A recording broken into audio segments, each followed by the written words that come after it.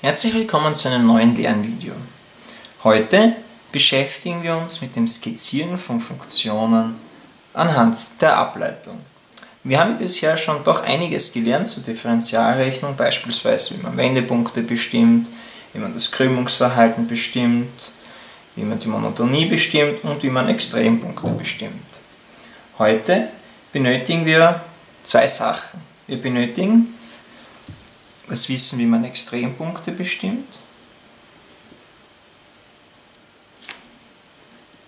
Extrempunkte bestimmt eben und wie man bestimmt, welches Monotonieverhalten die Funktion wo aufweist.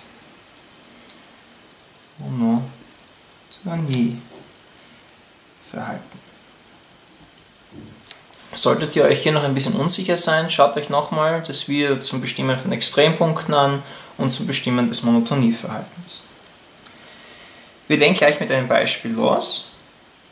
Also heute nicht so viel Theorie, das war schon an Theorie. Beispiel. Unser Beispiel, was wir betrachten wollen, also unsere Beispielfunktion, lautet wie folgt f von x ist gleich x hoch 3 minus 3x Quadrat plus 5.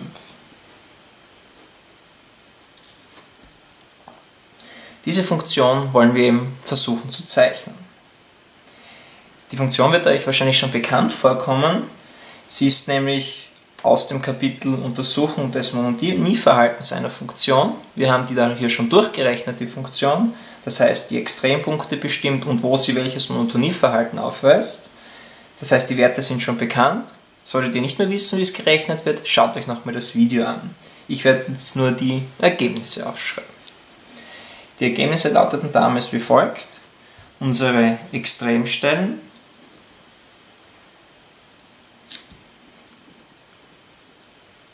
Stellen waren bei x ist 0 und bei, das war x1 meinetwegen, und bei x2 ist 2.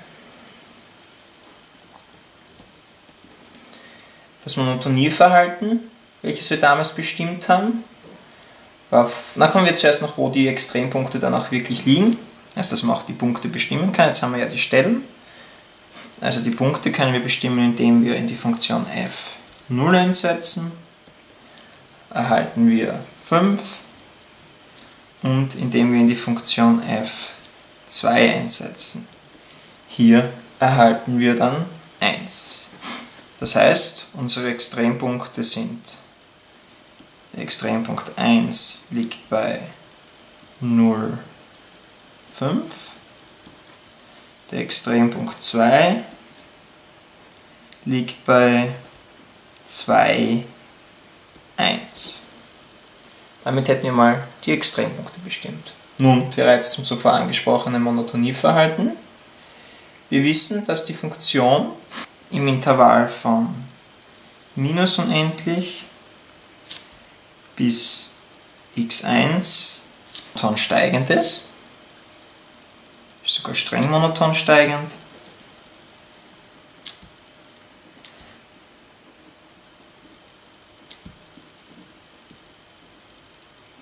Es ist übrigens eine Geschmackssache, ob man den X1 jetzt dazu nimmt oder nicht. Hier nehme ich es jetzt dazu. Wenn ihr euch noch ans letzte Video erinnern könnt, habe ich dann eine runde Klammer gemacht. Das heißt, das X1 hat nicht dazu gehört. Also man kann sagen, es ist bis X1 streng monoton steigend auf diesem Intervall. Das ist sogar sauberer irgendwo. Und im Intervall von X1 bis x2. Wichtig ist dann nur bei Bestimmung des Monotonieverhaltens, dass man wirklich einen Wert aus dem Inneren des Intervalls wählt, also nicht einen Randpunkt, also nicht x1 oder x2 in diesem Fall, sondern irgendwas dazwischen. Hier ist die Funktion streng monoton fallend, wie wir noch wissen.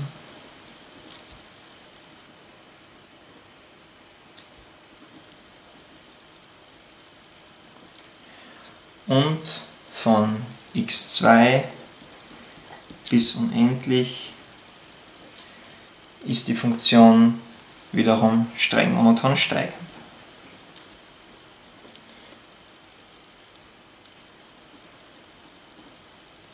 streng monoton steigt.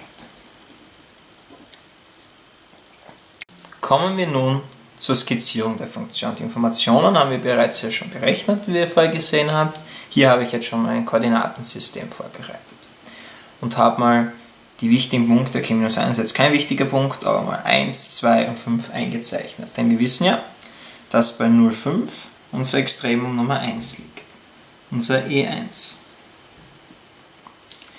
Bei 2,1 liegt unser zweites Extremum, unser Extremum E2. Um mal sicher zu gehen, verwenden wir das Lineal. Also hier bei E2 ist nochmal ein interessanter Punkt. Und wir wissen eben auch das Monotonieverhalten. Wir wissen, dass vor dem Punkt E1 die Funktion monoton steigt, dass sie zwischen E1 und E2 monoton fällt und dass sie nach E2 wieder monoton steigt. Natürlich ist es jetzt nur eine Skizze einer Funktion. Um es wirklich gut zu zeichnen, müsste man Zwischenpunkte etc. berechnen. Eine Möglichkeit, um noch etwas genauer zu sein, wäre, eventuell die Nullstellen zu berechnen. Wenn man die Nullenstellen berechnet, sieht man, dass man kurz nach minus 1 eine Nullstelle hat. Also versuchen wir mal, unsere Funktion hier knapp durchzuzeichnen, um sie möglichst genau hinzubringen.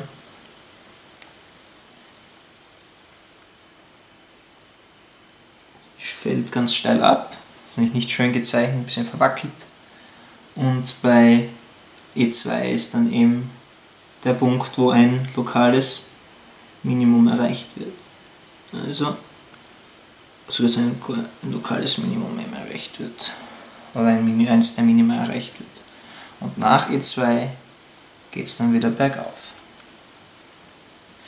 Die Funktion sieht dann circa so aus, eben wie schon gesagt, es ist nur eine Skizze einer Funktion, aber ihr seht, dass man mit den Informationen, welche wir hier gewonnen haben, schon durchaus eben eine Skizze anfertigen kann, damit man eben eine Idee der Funktion hat. Hier soll es noch ein bisschen steiler sein und nicht so ein Schlaufe am Schluss. Dieses Lernvideo war nun mal etwas kürzer zur Abwechslung. Wie immer hoffe ich, dass es lehrreich war und dass wir uns im nächsten Video wiederhören. Bis dann!